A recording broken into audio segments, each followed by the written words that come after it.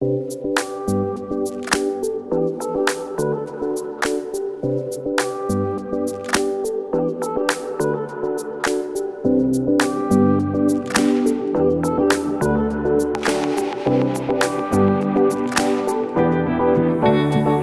さんこんにちは。メイクアップアーティストの兵藤さゆりです。今回はですね初めての縛りメイクをやっていきたいと思います。プロの方の縛りメイクが見てみたいっていう風にいただくことが多かったのですが、まあ、今までずるずるとねできずにいましたがやっとこさやっとこそやっとこそ。やろうと思って私が選んだコスメはこのパラドゥのコスメでございます。で私も実際この企画をするまではそこまであのあまりね 使ったことがなかったんですけれども、まあ、今回あの使わせていただいてですね本当にその実力にものすごく驚きました。それではですね初の縛りメイクパラドゥでやっていきたいと思います。それでは早速いきましょう。まずはねファンデーションとこれセットで売っててパラドゥ UV 下地 CC の美肌ベージュ。で SPF50PA プラスが4つもついているので、まあ、あの日焼け止めとかの代わりにもなると思います。本当に伸びが良くてすごいツヤっとした仕上がりにしてくれます。それでは早速つけていきます。で本当にお肌が綺麗な人はこれだけでもいいんじゃないかなっていうぐらい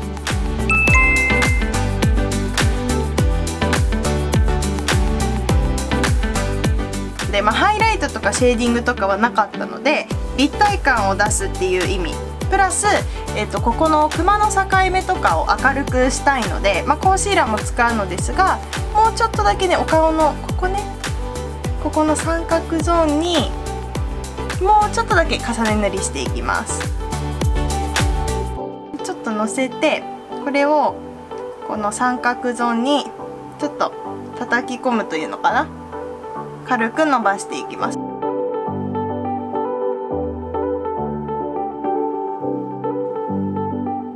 でしたらですね次はコンシーラーを使っていきたいと思います。ポンポンって指に取ってつけていきます。でえーと、熊の下全体につけるとやっぱりあのリキッドタイプではないので多分あのちょっと小じわが目立つ方とかだとちょっと浮き出てくる乾燥でちょっとシワが目立ってくるって思われる方も多いと思うんですね。なので今回は境目だけをぼかしていきます。熊の境目をこのようになぞっていくようにつけていきます。伸ばすとそのシワになりやすいのでトントントンって叩き込んで熊の境目をぼかしていきます。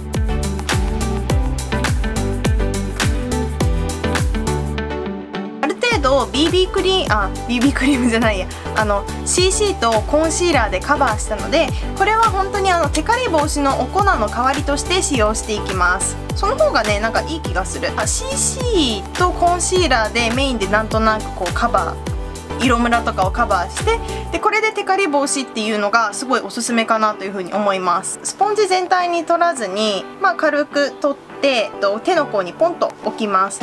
でしたらそれを本当にうっすら伸ばしていきます。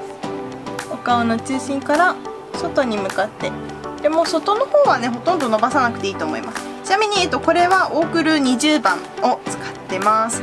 でねあの水割りでも使えるみたい。だからあのこのパウダーだけだとちょっとね薄付きな感じがするんですよね。あのすごいカバー力があるわけじゃないだけれどもあのより定着させたい人とかしっかりカバーしたい人とか、えーと、絶対崩れたくないなっていう方とかは、まあ、水ありスポンジに水含ませて取って使ってあげるのもいいかもしれません。はいでこんな感じでベースメイクが仕上がりました。次はアイブロウに行こうかな。はい。でこれもね結構使いやすくてびっくりしました。先が細くて繊細な毛を描き足せる感じとでもものすごく発色も良かったのでそういう部分も気に入りました。これはね現場でも使えるんじゃないかなっていう風に思います、はい、で毛がない部分はこう毛をね1本ずつ描き足せ描き足すようにこう描いていってれパウダーがついてないので眉頭の方に色をのせたい時にここも1本ずつ描き足すようにすると私みたいに結構毛がねしっかり生えてる人は眉毛が強くなっちゃうんですよ。なのでそういう場合はこれをね描き足す1本ずつ描き足したい時はこう立ててこう描いたのをまあとりあえず色をふわってのせたいだけのところはこう寝かせるっていうのかな。こう寝かせて本当に触れるか触れないかぐらいで色を入れていきます。こういう感じ？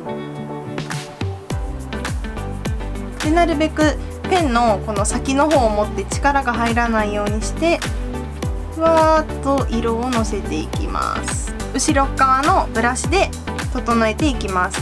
でこれねあの眉マスカラはちょっと売ってなくて私の近くのセブンには。そもそもあるのかな？うん。でもなんか何件か見たんだけどなくて。なのでえっ、ー、とまあ、とりあえずね私髪色明るいんで結構眉マスカラないとしんどいのですがこんな感じでブラッシングして整えて色をぼかしてなじませます。はいで眉毛はこんな感じで仕上がりました。そしたら次はアイシャドウです。アイシャドウはこちらのパラドゥのブラウンのアイシャドウを使っていきます。はいでですねこれを使う前に今回使っていくこのパラドゥのピンクのチークがあるんですね。パラドゥチーク PK ここの真ん中にね黄色が入ってるのよ。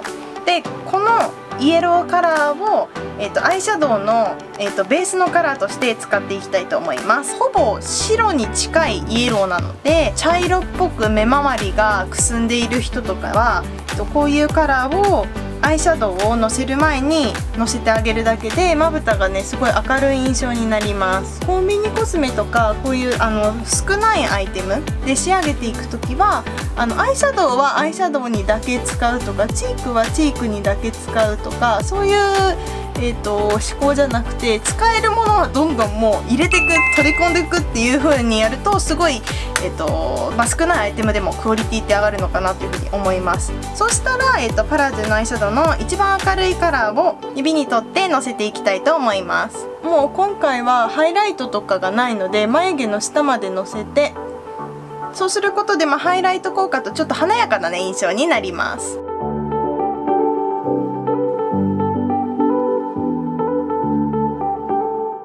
でしたら次はミディアムカラーも指に取ってまぶたの半分までのせます。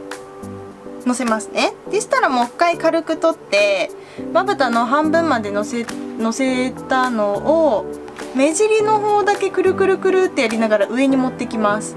でここのアイホールの骨ありますね。ここにこうちょっとなじませます何回か。こっちまでいったらえっ、ー、と前頭の方につなげる。つなげる。でちょっとだけぼかす。ってなるとどうですかね。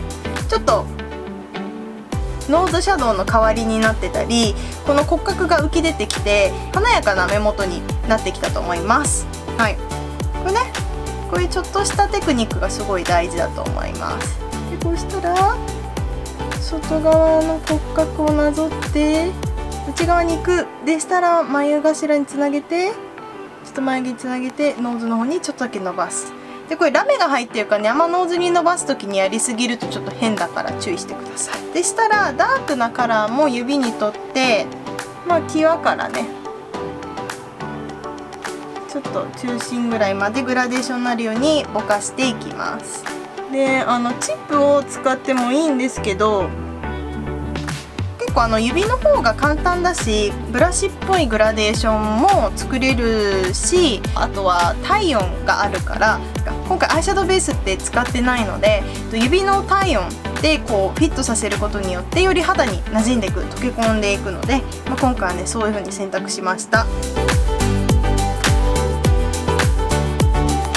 目の下の粘膜のところはいつもペンシルでね引いてるんですけど今回ペンシルがなかったので一番濃いアイシャドウをチップに取ってちょっと黒目の下だけポンポンって軽く本当にねあののせる感じ。これ粘膜のとこにこう引くじゃないですか。そうじゃなくてポンポンって濃いブラウンをちょっとのせるぐらい。そうすることね、えーと、黒目がちに見えます。でちょっと眉マスカラ欲しいところだったので、まあ、このアイシャドウのこの明るいカラーと真ん中のカラーかな。ちょっと混ぜてチップに取ります。でしたら、えっと、毛にちょっと絡ませます。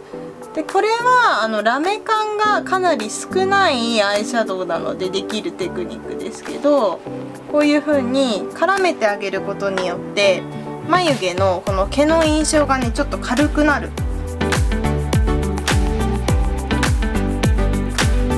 したら次ねビューラーがなかったのよ。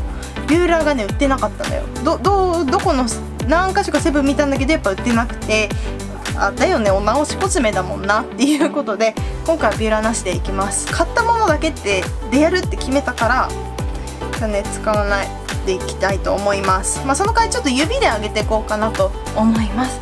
まずは下からねいつも通り塗っていきます。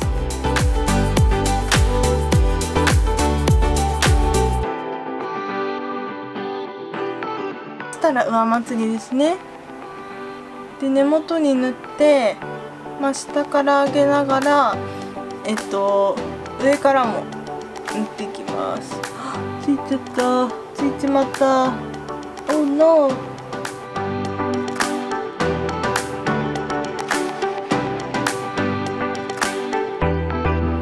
こっちがもうすぐ乾く手前だからその時に指の熱でちょっと上に向かって根元からこう押さえます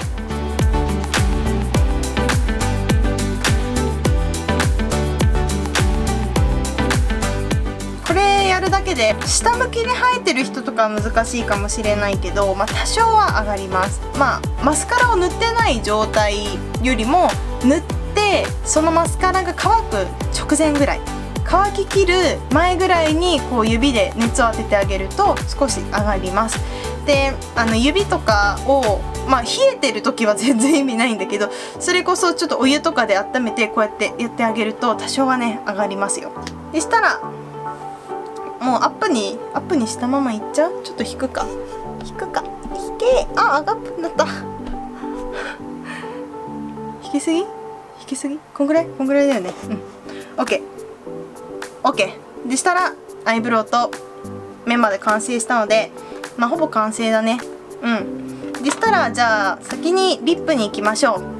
リップは私ねこの間買いに行ってめっちゃ気になったのね。これがえっ、ー、と桜ベールリップ唇美容液鏡いらずの薄付きティント。こんな感じで見た目もとっても可愛いんです。これでは鏡見ないで塗れるし本当にねほんのり唇が色づくのですごくおすすめ。でまああのー、好みによってグロスとか重ねてあげてもいいかもしれないです。で、えーと今回私が買ったのはこの PK01 番と,、えーと、RD01 番です。で PK01 番はね本当にみんなが多分想像してるようなナチュラルなピンクのグロスです。でそれもすごい可愛かったんですけど今回はねこの赤を重ねていきたいと思います。多分ねこれだけで十分なんだけど、まあ、今回は買ったのでちょっとつけていきたいかな。せっかく買ったからね。でこんな感じです。まあ結構ネイビーの服とかなので、まあ、ちょっとリップがパキッとしててもいいかなと思います。はい。でしたらチークです。さささささって取ってもう終わり。もうねグリグリやると結構発色するイメージです。うん。でしたらこれをさらにこの手の方でパパパパパパパパってもうたたき落としてもうほぼついてない状態で私はつけます。はい。まあ、もちろんねチークがっつりつけたい人はいいと思うんですけど、まあ、筆も小さいからあんまたくさん取りすぎるとあのムラになる固まる色が。なのであのちょっと子供っぽい印象になっちゃうのでほとんどはたき落として、えっと、これを。鏡鏡のね配置にねちょっと迷ってるんだよね。鏡の配置に迷ってるんですけど大丈夫。見える。見えるかな？見えてくれ。これねやってる鏡見てる時はさこう見えてるか分かんないかちょっと難しいんだよね。はい。でしたら、えっと、これをどうでもいいか。これをねこうふわーっと本当に当たるか当たらないかってぐらいで全体に入れます。ほんとこのくらい。ね小さいブラシって結構難易度高いんですよ。あのうまくのせるのにね。あの考えないと乗りすぎちゃったりするから。はい。でこんな感じ。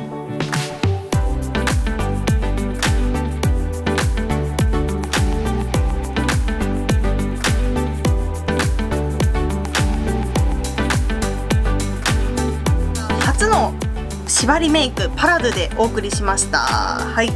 で私的に結構気に入ったなと思うのはえっ、ー、とパラドゥの UV ん？UV ベース CC 桜色の、えーと、桜ベールリップ唇美容液の、えーと、薄付きティント。これはね結構お気に入り。あとはアイブロウも結構良かったかな。結構この3つおすすめかも。はいということで本日も最後まで見ていただいてどうもありがとうございました。この動画が良かったらんあまた忘れちゃった。チャンネル登録と動画のシェアインスタグラムとツイッターのフォローもよろしくお願いします。それではまた次の動画でお会いしましょう。さよなら。